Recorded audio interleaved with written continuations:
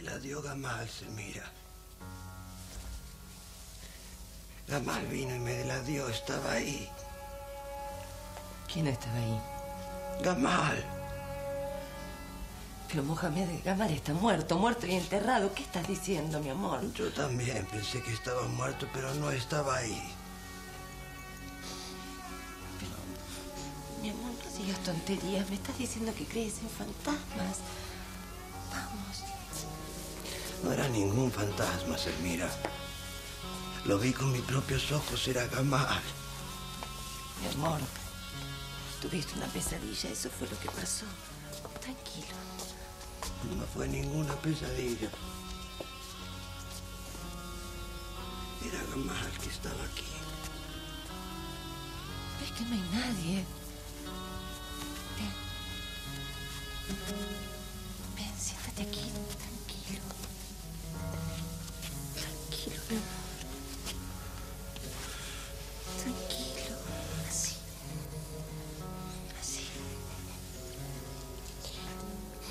Cierto, como tú dices, que Gamal decidió salir de su tumba, ya nos vamos a encargar de hacerlo volver a ella para siempre. ¿Por qué me miras así? ¿Por qué me miras?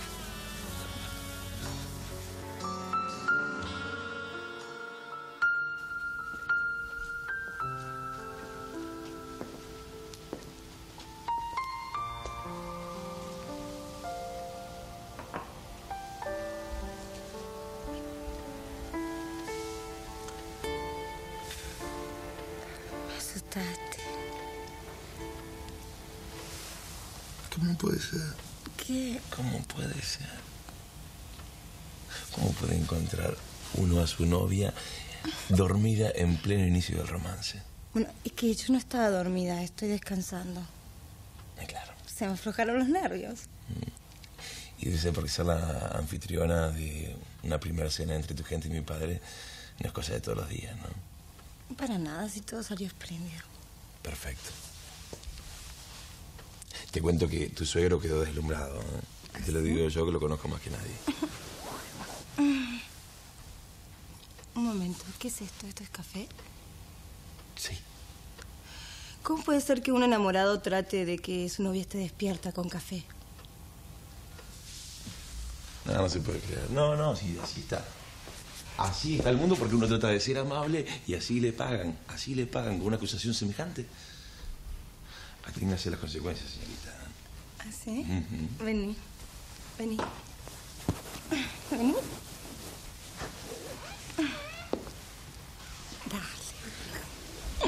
Dale. Abrázame. Ay, abrazame. Más fuerte. Más, más.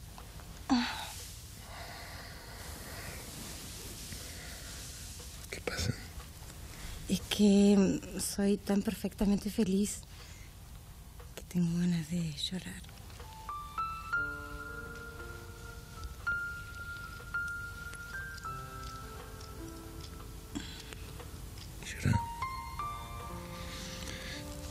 Todo lo. Mm, No, ahora no. Solamente necesitaba decirlo.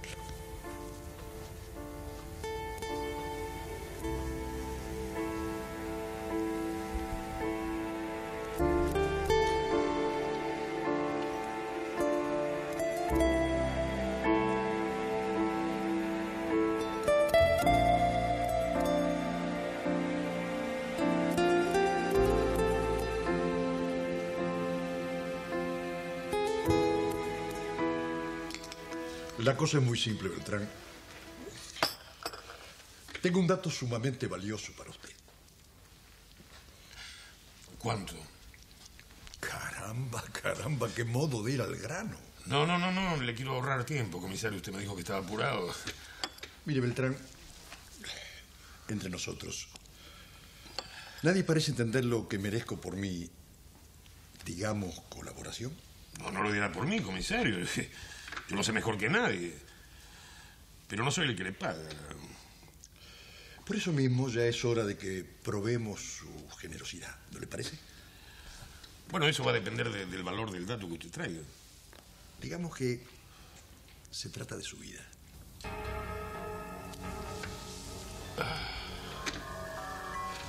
Bueno, cuente con lo que sea.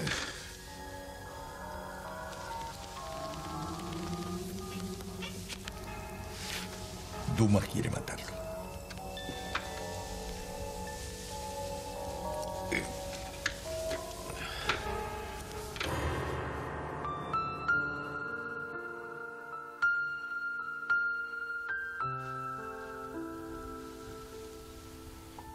Qué maravilla. Sentir que estamos hablando, aunque estemos callados. ¿Que mm, me estabas oyendo? Todo. ¡Qué peligro! Bueno, pero no te confíes porque yo también puedo irte. Ujú. Mi amor. ¿Cómo puede ser que tengas esto y que yo nunca me haya dado cuenta? Bueno, es otra prueba de que los enamorados solo ven lo que quieren ver. Pero me parece raro que vos tengas algo así. Había resultado prejuiciosa. ¿eh? ¿Quién? ¿Vos? ¿Por qué? ¿Qué pasa? ¿Me pueden gustar los tatuajes? Sí. Me gustan los tatuajes. No. No me lo hicieron cuando casi era un recién nacido. Es una, una tradición de, de la familia de mi madre.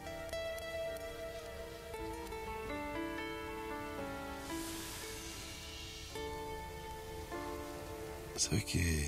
¿Qué?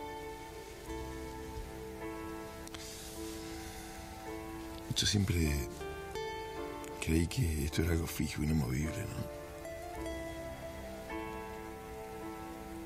Como esas cosas que, que vienen de nacimiento y uno no puede modificar. Y ahora cuando...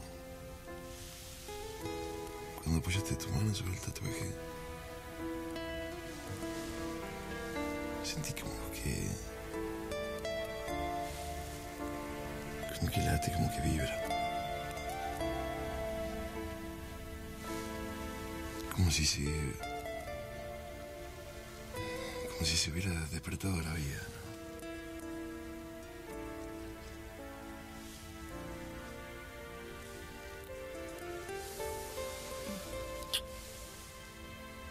¿Así? Así como estoy despertando.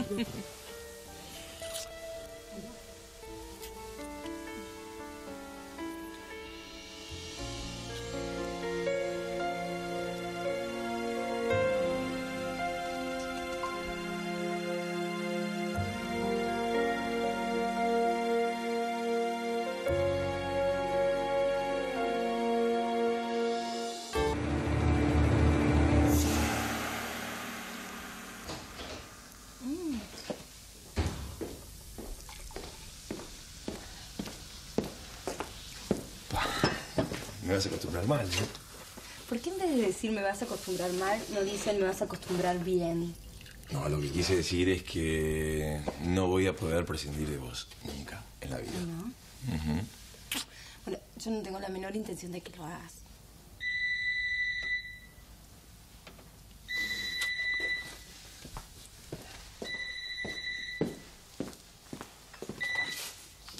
Hola. Ah, ¿cómo te va, Pérez? Ahora déjame pensar. Eh, no, eh, arreglarlo para mañana a la tarde. Sí, a esa hora está bien. No, yo te paso a buscar. ¿Sí? No. No. Bueno, está bien, eso lo, lo arreglamos después. Ok. Chao.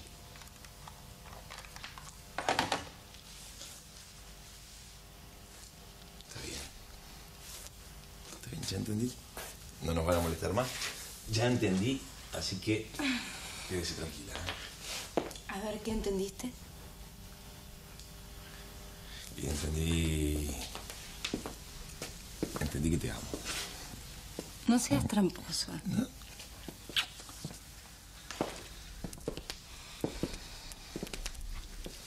Bueno, entendí que... que no querés que me comprometa más poniendo mi vida en peligro. Entendí que necesitamos todo el tiempo del mundo para nosotros. Pero también creo que, que, bueno, que cada uno desde su lugar tiene que intentar que este mundo sea un poquito más habitable. Porque hay gente que es una amenaza para todos.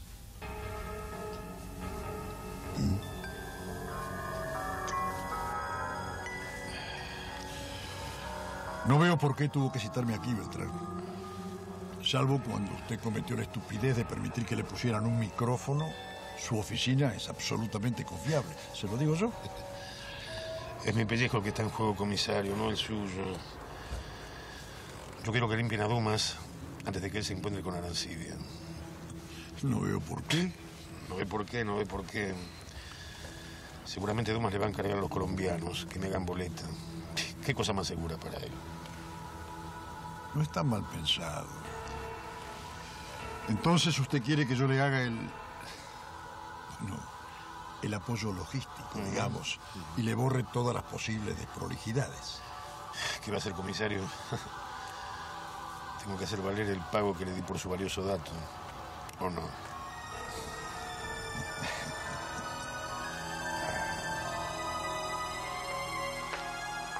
Busca a Omar y dile que su madre quiere verlo.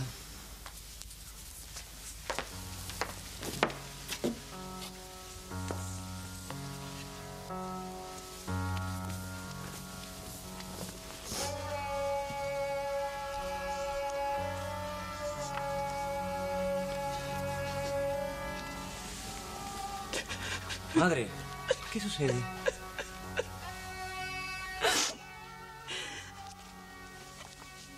Nada, vete, Omar. No, vete, que no quiero que me veas así. Vuelve después cuando yo esté más tranquila. No, no. Deja que sea yo quien te serene, madre.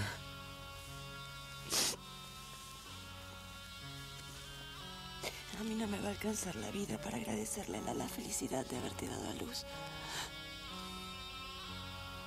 ¿Qué es lo que pasa, madre? ¿Qué es tan grave para que te pongas así? Es esa vieja historia de horrores que todos conocemos. A veces pienso que el pasado amenaza con volver. ¿Todo por una medalla que alguien perdió? ¿Qué es esa medalla? La medalla que tu tío Gamal le regaló a Rashid, a ese desalmado. Me parece que te estás ahogando en un vaso de agua. El hecho de que esa medalla se haya salvado del incendio no significa necesariamente que quien la llevara al cuello esté vivo, madre. Pero a tu padre y a mí no nos preocupa que Rashid esté vivo. Lo que nos angustia es pensar que el bastardo que tuvo con esa adúltera te arrebate el emirato. Parece que estás muy sensibilizada, madre. Además, ¿qué te hace suponer que el hijo de nadie está vivo? No la nombres. Si en algo respetas a tu madre, ni la menciones en mi presencia.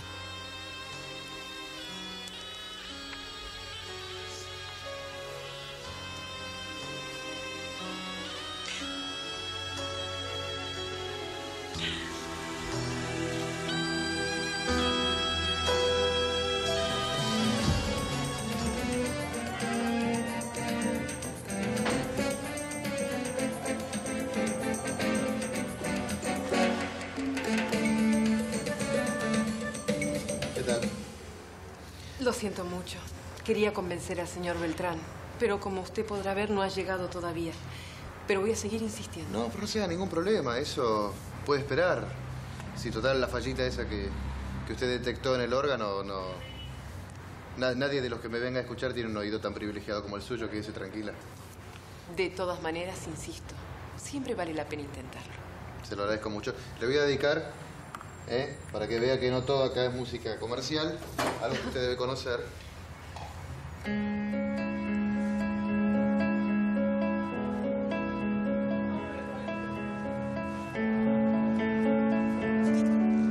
¿Qué pasa? ¿Se siente mal? Siéntese, siéntese, ver. No, no, no es nada. Un mareo simplemente. ¿Por ya qué, no, bien. por qué no le traigo un, un- un tecito con limón y azúcar? Así le levanta la presión o un café. ¿Qué quiere que No, le traiga? Le agradezco mucho, pero de todas maneras, yo tampoco debería estar aquí sentada. Pero si usted se siente mal, si- no quédese acá. que- ¿Quién le puede decir algo? Tome este agua, aunque sea que le, le haga pasar el mareo. ¿eh?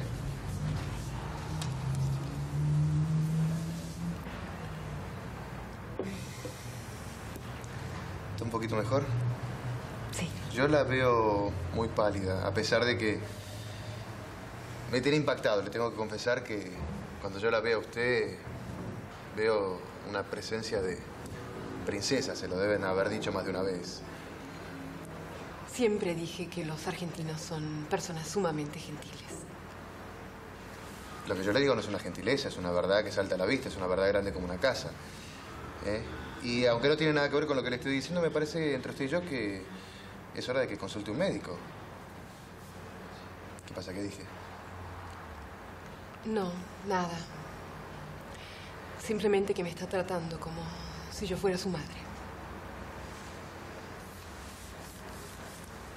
Sí, puede ser. Le tengo que contar también que yo no tengo madre, entonces a lo mejor. ¿Usted tiene hijos? Sí. Tengo dos hijos. Y recorro el mundo buscándolos. Me fueron arrebatados hace 30 años.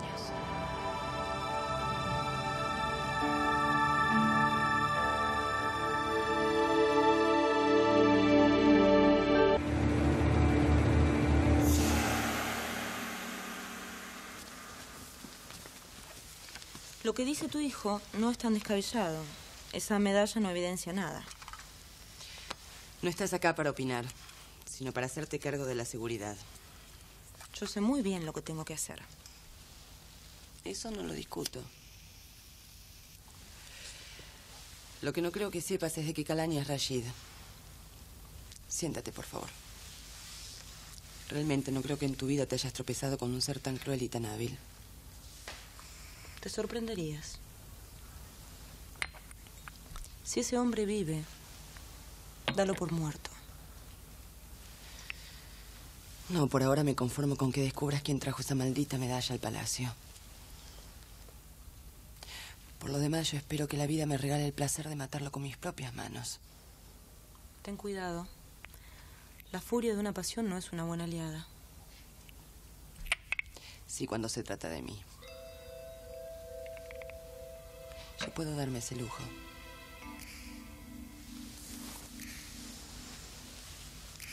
¿Para qué crees que cuento contigo?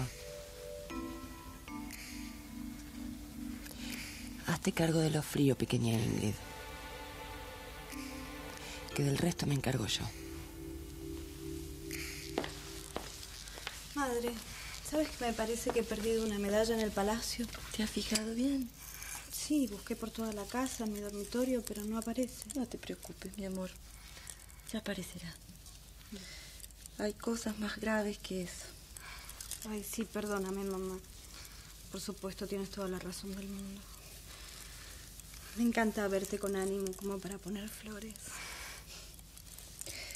Yo creo en el poder de la belleza, hija.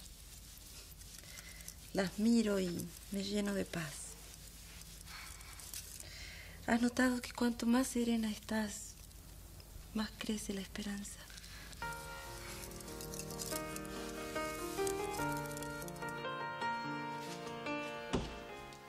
Buenos días, señor Beltrán. Ay, discúlpeme, Olga, no, no la vi.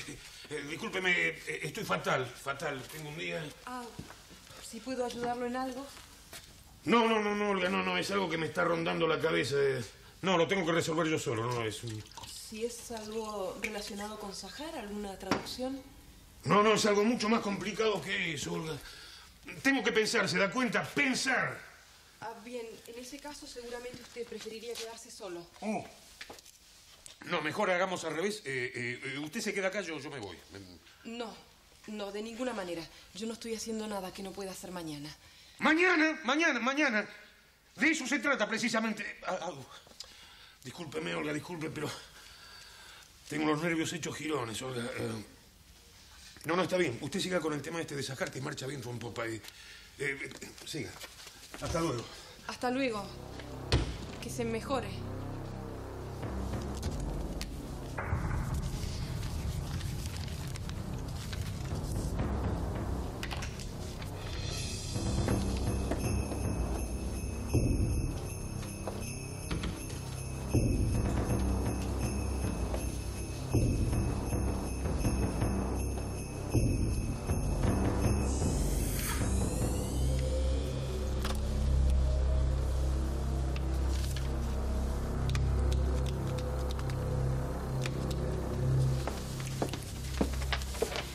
Llegó un fax de Argentina.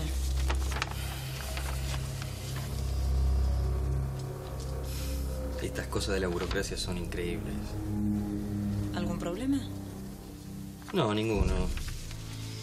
Mandan a pedir de Buenos Aires mis datos personales y mi número de documento. ¿Para qué? En un acto de generosidad, mi padre me hizo firmar unos documentos y nos olvidamos de consignar mis datos personales. Disculpe si la distraje de sus tareas. No se preocupe. Los que nacimos con la virtud de la concentración no nos distraemos fácilmente. Permiso.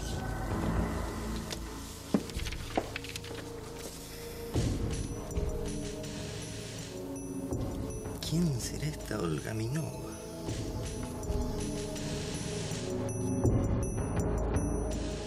¿Cuánto hace que no te digo que te amo? Mm, demasiado tiempo. No, no puede ser. No puede ser, no puede ser. Ese error hay que subsanarlo ya mismo. Te amo. Mi amor, Te amo. ¿sabes una cosa? Te amo. Basta. ¿Sabes una cosa? ¿Qué? A mí siempre me dio miedo enamorarme.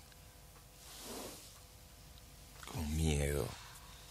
Sí, porque todas las mujeres de mi familia fueron muy desdichadas en su amor.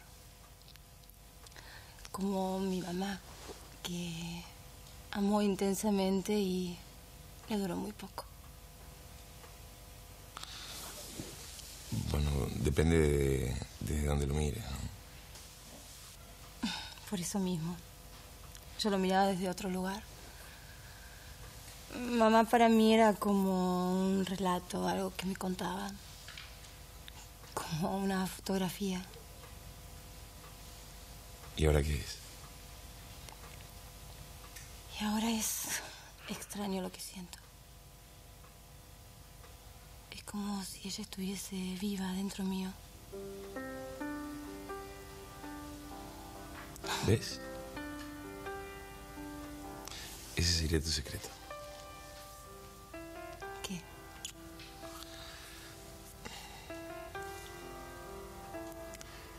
Ella murió para que vos vivas. Y ahora la sentís viva en vos. ¿No es esa la idea de tu programa? ¿No es eso? Descubrir el secreto de los demás y hacer que ese secreto te empuje a seguir hacia adelante.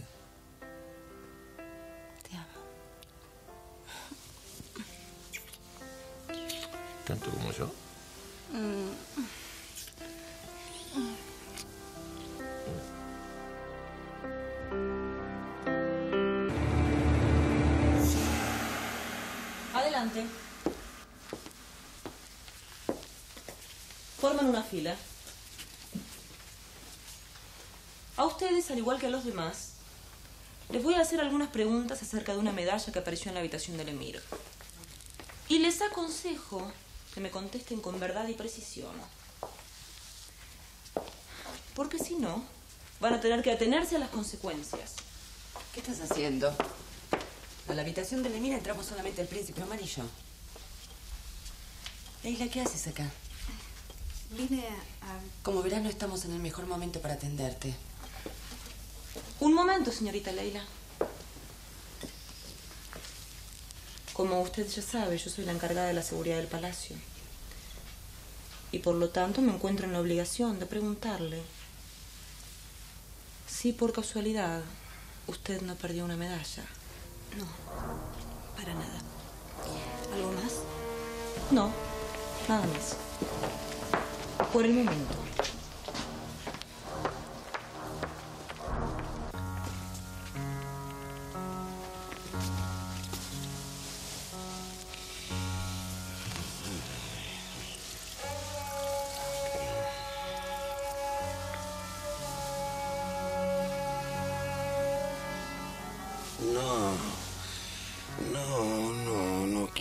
Más muertes, no. ¿Qué me vienes a buscar a mí? Eh, me llegó la hora. No me vengas a buscar todavía. Padre, por favor, trata de calmarte. Mujer de velos negros y guadañas afiladas, no quiero que me lleves. Todavía no. Gamal. Gamal, ¿dónde estás, Gamal? Hermano mío. No me mires así, Gamal. ¿Por qué nunca me has querido prestar el caballo blanco, Gamal? Yo sé que era de nuestro padre, pero nunca me lo has dado. Gamal. Padre mío y de mi padre y del padre de mi padre. Siempre querido usarlo, Gamal. Escucho la súplica de este hijo que se arrodilla ante ti, implorando tu clemencia. Padre, Sangre, sangre. Ríos de sangre que bajan por las montañas de la traición. Sangre, sangre, madre, ¿dónde estás, madre querida? Ven a buscar a tu pobre hijo Mohamed. Madre, que te necesito como nunca, madre. ¿Dónde estás, madre querida? ¿Dónde estás?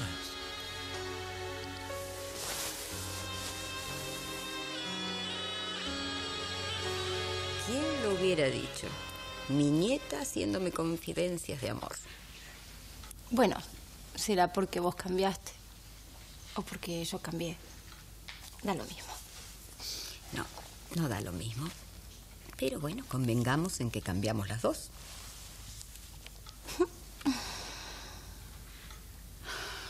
¿Qué pasa? ¿En qué te quedaste pensando? En lo mucho que me haces acordar a mi pobre Virginia. No solamente en los rasgos, ¿no? Te salió ese fuego por los ojos. Esa mirada de estar siempre cuatro pasos adelante de donde estaba. Ay, mamá, mamá.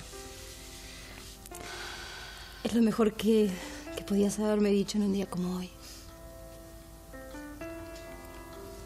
¿Puedo aprovechar esta confianza? ¿Sí? Claro. Cuando fui a Sajar, el abuelo me dijo algo que me sorprendió. ¿De quién estaba enamorada, mamá? ¿Será posible con este hombre? No te la agarres con el abuelo. No me la agarro con nadie. Tu abuelo nunca fue un dechado de comprensión. Él amaba o odiaba con la misma intensidad, sin preguntarse mucho por qué amaba o odiaba. Siempre dijo lo primero que se le pasó por la cabeza. ¿Qué querés decir que él me mintió? No. Lo que quiero que entiendas es que él seguramente está convencido de que lo que te dijo es cierto. ¿Te alcanza con eso? No. Pero me va a tener que alcanzar, porque te quiero mucho.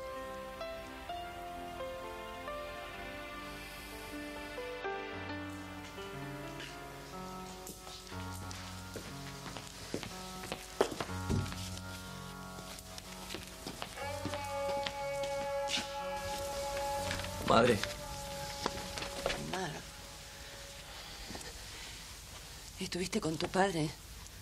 ¿Viste cómo está de pálido y demacrado? Está consumido por la fiebre. no solo eso, madre. Ahora delira. Delira. Mientras yo estuve con él no deliraba. ¿Qué dice? Incoherencias. ¿No te parece que es hora de llamar a un médico? No. No, en el único instante de lucidez que tuvo me hizo prometer que no lo iba a hacer por su vida. Así que yo no puedo pasar por encima de semejante juramento. No, claro que no. Dime una cosa, madre. ¿Por qué me han hablado tan poco de Gamal? ¿Que lo nombró? Mucho. Parecían recuerdos de infancia. Mohamed no puede hablar de su hermano Gamal sin que se le parta el corazón de dolor. Si supieras, Omar, se amaban tanto, eran tan unidos. Así que nosotros, por temor a que se afectara su sensibilidad, decidimos no mencionarlo, o por lo menos nombrarlo lo menos posible. Comprendo. Ahora debes disculparme, pero quiero estar junto a él. He estado orando por él y voy a continuar haciéndolo. Omar, por favor, si valoras en algo el ruego de una madre, no me prives de estar a su lado hasta que Alá nos lo lleve nos lo deje definitivamente.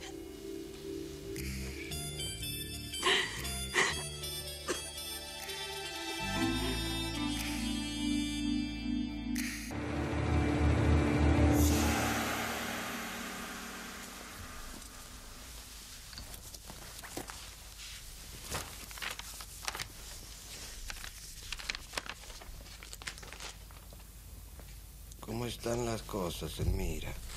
Podrías haberme avisado que recuperaste el conocimiento, ¿no? Es que acabo de despertarme, mujer. Deben ser los rezos de Omar. Estuvo rezando por mí. Como si lo merecieras.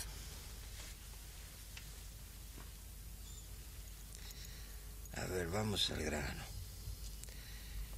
Cuéntame qué pasos has dado hasta ahora. Puse todo en manos de Ingrid. Ella se va a encargar de averiguar quién trajo esa maldita medalla al palacio. Y supongo que después, cuando lo o la tengamos en nuestras manos, se van a hacer los interrogatorios del caso. Ahora a mí no me saca nadie de la cabeza que Rashid está atrás de todo esto. ¿Qué pasa ahora? Nada. Recordaba. Si lo que no veo es el porqué de esa sonrisa. Bueno, mujer. Es una pena. Si usaras mis ojos como espejos, te darías cuenta que la furia te sienta muy bien. Hasta pone mejor tu cutis. Y si tú usaras los míos como espejo, verías a un Mohamed mucho más joven.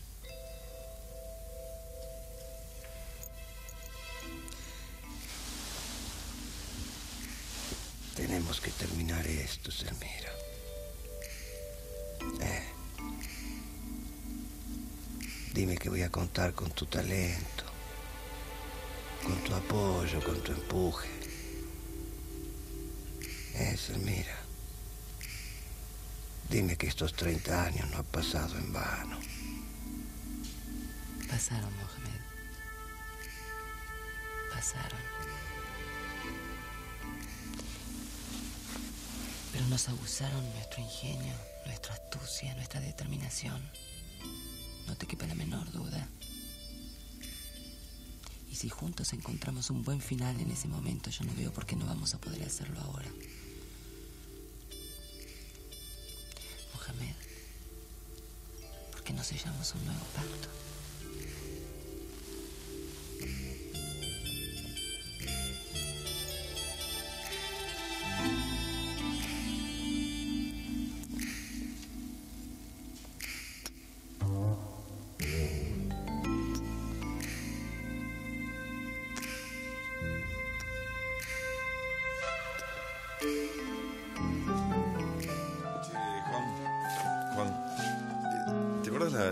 Esa que yo había perdido? Que te pregunté si la, la viste por algún lugar.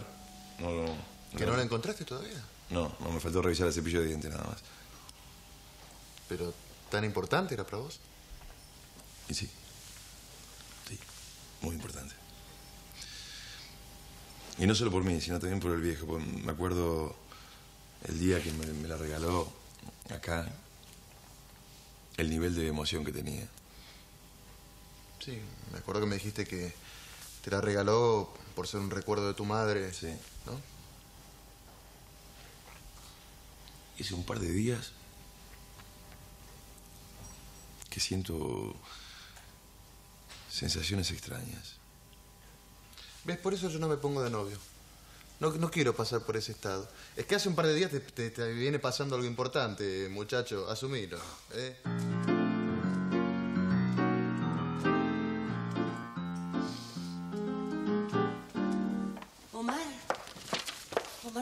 Está bien. Uf, que Alá sea mil veces bendito. Y los que oran a él también. Ya no tiene más fiebre, no delira más. Ahora está entregado a un sueño de lo más reparador. Perdón.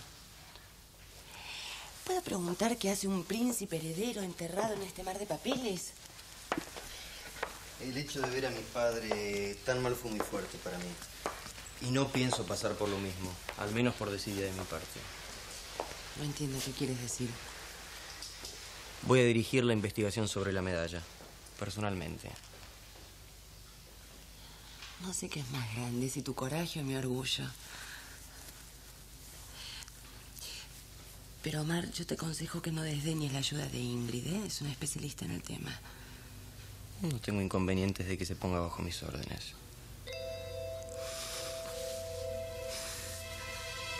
Así habla un emir, Omar. Así dijo, así. Así.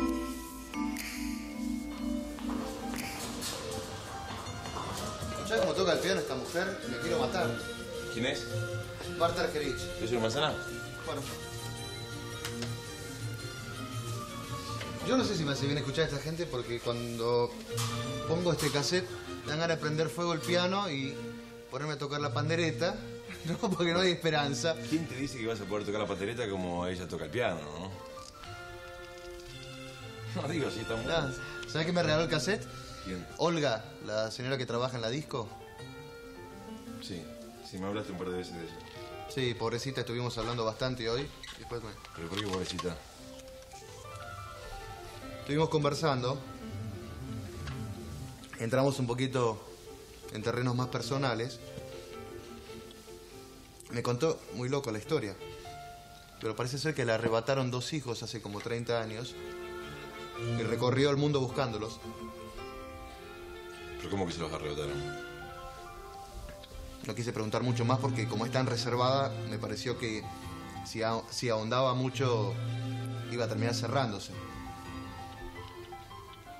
Es extranjera ella, ¿no? Es rusa, pero tenías que ver la carita cuando lo contaba. Qué increíble, ¿no? ¿Sabes lo que debe ser traer dos hijos al mundo y te lo arrebaten así de un plumazo? Pobre mujer, Dios. Ah, toma, cerrá con llave, ¿querés?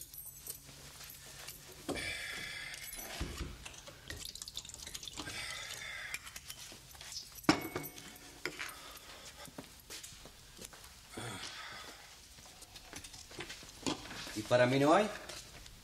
¿De qué pretendes? ¿Que me levante y te sirva? Dale, servite, viejo. ¿Puedo preguntar por qué está tan nervioso, patrón? Pará, pará, imbécil, no, no me distraigas. Estoy pensando... Estoy pensando... No, Alcide no me va a traicionar, eso seguro. Ahora vengo a hacer una cosa así como la gallina de los huevos de oro, ¿no? Pero de todas maneras es una operación muy peligrosa.